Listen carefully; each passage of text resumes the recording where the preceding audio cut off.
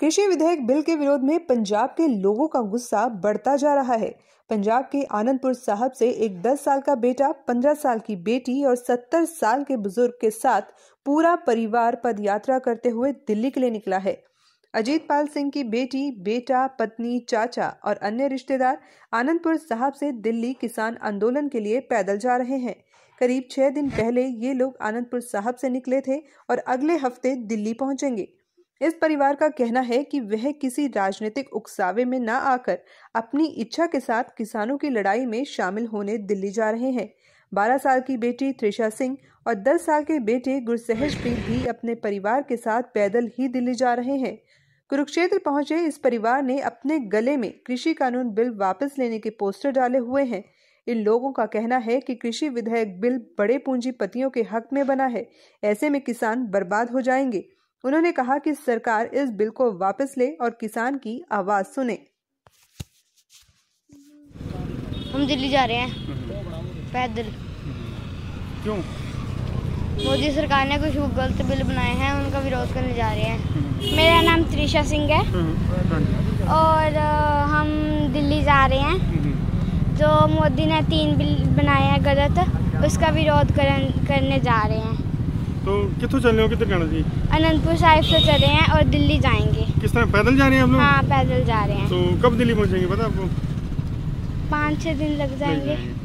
क्या नाम है? कहाँ से मेरा नाम सुनीता है। हम अनंतपुर साहब से आए हैं और हम पैदल जा रहे हैं दिल्ली। और हमें चले हुए पाँच छः दिन हो गए आज। और हमें पाँच छः दिन और लग जाएँगे। और हम जाते हुए उन सभी लोगों को ये बता रहे हैं कि जो मोदी साहब ने जो कानून गलत बनाए हैं उनका उनका आप भी विरोध करो और हम भी कर रहे हैं और बाकी ये हमारी पूरी फैमिली हमारे सभी हमारे घर के हैं फैमिली मेम्बर जैसे तो छोटे छोटे बच्चे भी जा रहे हैं हाँ जी छोटे छोटे बच्चे भी जा रहे हैं कितने किलोमीटर चलते हैं रोज हम 40 ਕਿਲੋਮੀਟਰ ਤਾਂ ਚੱਲ ਹੀ ਪੜਤੇ ਆ ਰੋਜ਼ ਅਸੀਂ ਅਨੰਦਪੁਰ ਸਾਹਿਬ ਤੋਂ ਚੱਲੇ ਹਾਂ ਅਨੰਦਪੁਰ ਸਾਹਿਬ ਤੋਂ ਆਏ ਹਾਂ ਜੀ ਪੰਜਾਬ ਤੋਂ ਔਰ ਪੈਦਲ ਦਿੱਲੀ ਜਾ ਰਹੇ ਹਾਂ ਜੀ ਮੋਦੀ ਸਾਹਿਬ ਦਾ ਜੋ ਉਹਨਾਂ ਨੇ ਸਰਕਾਰ ਨੇ ਗਲਤ ਕਾਨੂੰਨ ਬਣਾਏ ਹੈ ਇਹਨਾਂ ਦਾ ਵਿਰੋਧ ਕਰਨ ਵਾਸਤੇ ਅਸੀਂ ਰਸਤੇ ਦੇ ਵਿੱਚ ਸਿਰਫ ਮੇਨ ਰੋਡ ਤੇ ਨਹੀਂ ਆਏ, ਰਸਤੇ ਦੇ ਵਿੱਚ ਜੋ ਵੀ ਪਿੰਡ ਆਇਆ, ਕੋਈ ਸ਼ਹਿਰ ਆਇਆ, ਉੱਥੇ ਵੀ ਲੋਕਾਂ ਨੂੰ ਜਾਗਰਿਤ ਕਰਦੇ ਆਏ ਹੈ ਕਿ ਭਾਈ ਆ ਜੋ ਗਲਤ ਕਾਨੂੰਨ ਬਣੇ ਨੇ, ਇਹਨਾਂ ਦਾ ਸਾਨੂੰ ਸਾਰਿਆਂ ਨੂੰ ਵਿਰੋਧ ਕਰਨਾ ਚਾਹੀਦਾ ਹੈ ਔਰ ਇਹ ਜੋ ਵੱਡੇ ਵੱਡੇ ਘਰਾਣੇ ਨੇ ਕਾਰਪੋਰੇਟ ਸੈਕਟਰ ਹੈ, ਅਡਾਨੀ, ਅੰਬਾਨੀ, ਜਿਨ੍ਹਾਂ ਦੀ ਬਦੌਲਤ ਇਹ ਸਾਰਾ ਕੁਝ ਕਾਰਨਾਮਾ ਵਾਪਰਿਆ ਹੈ, ਉਹਨਾਂ ਦਾ, ਉਹਨਾਂ ਦੀਆਂ ਜੀਓ ਸਿਮਾਂ ਦਾ ਬਹਿਸ਼ਕਾਰ ਕਰੋ, ਇਹਨਾਂ ਦੇ ਵੱਡੇ ਵੱਡੇ ਮੌਲਾਂ ਦਾ ਬਹਿਸ਼ਕਾਰ ਕਰੋ, ਇਹ ਜੋ ਵੀ ਗਲਤ ਕਾਨੂੰਨ ਬਣਾਏ ਇਹਨਾਂ ਦਾ ਸਾਨੂੰ ਸਾਰਿਆਂ ਨੂੰ ਵਿਰੋਧ ਕਰਨਾ ਚਾਹੀਦਾ ਹੈ ਜੀ। ਇਹ ਸਾਡਾ ਸਾਰਾ ਆਪਣਾ ਪਰਿਵਾਰ ਹੈ ਜੀ। ਇਹ ਸਾਡੇ ਚਾਚਾ ਜੀ ਹੈ ਮੇਰੀ ਵਾਈਫ ਨੇ ਜੀ। ਇਹ ਮੇਰਾ ਬੇਟਾ ਹੈ ਬੇਟੀ ਹੈ ਮੇਰੇ ਭਰਾ ਨੇ। ਅਸੀਂ ਪੂਰਾ ਪਰਿਵਾਰ ਹੈ ਜੀ। ਅਸੀਂ ਪਰਿਵਾਰ ਦੇ 29 ਜਣੇ ਚੱਲੇ ਸੀਗੇ ਜੀ। 12 ਜਣੇ ਪਿੱਛੇ ਨੇ 17 ਜਣੇ ਅਸੀਂ ਹੁਣ ਇਸ ਸਮੇਂ ਮੌਜੂਦ ਹੈ ਜੀ ਦਿੱਲੀ ਜਾ ਰਹੇ ਹਾਂ ਜੀ। ਇੱਕ ਪਰਿਵਾਰ ਹੈ। ਜੀ ਸਾਰਾ। ਸਮਝ ਜਾ ਰਹੇ ਹਾਂ। ਕਿਸ ਤਰ੍ਹਾਂ ਦੀ ਵਾਹਿਗੁਰੂ ਜੀ ਕਾ ਖਾਲਸਾ ਵਾਹਿਗੁਰੂ ਜੀ ਕੀ ਫਤਿਹ ਜੀ। ਜਿਹੜੀ ਸਾਡੀ ਯਾਤਰਾ ਹੈ ਦਿੱਲੀ ਦੇ ਵਿੱਚ ਜਿਹੜਾ ਸਾਡਾ ਕਿਸਾਨ ਮਜ਼ਦੂਰ ਤੇ ਸਾਡੇ ਜਿਹੜੇ ਮੁਲਾਜ਼ਮ ਵਰਗ ਹੈ ਇਹਨਾਂ ਨੇ ਇੱਕ ਮੰਚ ਤੇ ਸੰਘਰਸ਼ ਰੰਭਿਆ ਹੋਇਆ।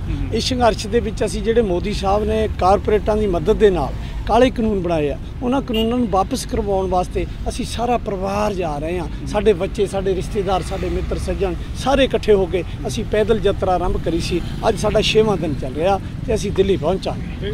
ਕੋਈ ਪੋਲੀਟੀਕਲ ਮੋਟੀਵੇਟਡ ਨਹੀਂ ਆਪਣੇ ਮਨ ਦਿਲ ਦੀ ਨੋ ਨੋ ਨੋ ਨੋ ਪੋਲੀਟੀਕਲ ਸਾਡਾ ਕੋਈ ਮਤਲਬ ਨਹੀਂ ਆ। ਅਸੀਂ ਕਿਸੇ ਪਾਰਟੀ ਦੇ ਨਾਲ ਗੱਲ ਨਹੀਂ ਕਰਦੇ। ਸਾਡਾ ਸਿਰਫ ਇੱਕੋ ਹੀ ਮੰਤਵ ਹੈ ਕਿ ਇਹ ਜਿਹੜੇ ਕਾਨੂੰਨ ਬਣਾਏ ਆ ਕਿਸਾਨ ਮਾਰੂ ਕਾਨੂੰਨ ਹੈ ਇਹ ਮਜ਼ਦੂਰ ਮਾਰੂ ਕਾਨੂੰਨ ਹੈ ਇਹ ਸਾਡੇ ਮੁਲਾਜ਼ਮ ਵਰਗ ਮਾਰੂ ਕਾਨੂੰਨ ਹੈ ਇਹ ਸਾਰੀ ਜਨਤਾ ਦੇ ਮੌਤ ਦੇ ਵਰੰਟ ਆ। ਛੋਟੇ ਛੋਟੇ ਬੱਚੇ ਜਾ ਰਹੇ ਨੇ ਸਾਡੇ ਪੋਤੀਆਂ। ਸਾਡੇ ਬੱਚੇ ਬੜਾ ਦਰਦ ਹੈ ਇਹਨਾਂ ਬੱਚਿਆਂ ਨੂੰ। ਅਸੀਂ ਤਾਂ ਇਹਨਾਂ ਨੂੰ ਕਿਹਾ ਸੀ ਘਰ ਰਹੋ ਪਰ ਇਹ ਨਹੀਂ ਰਹਿ ਰਹੇ ਕਹਿੰਦੇ ਜਾਣਾ ਤੁਹਾਡੇ ਨਾਲ ਜਾਣਾ।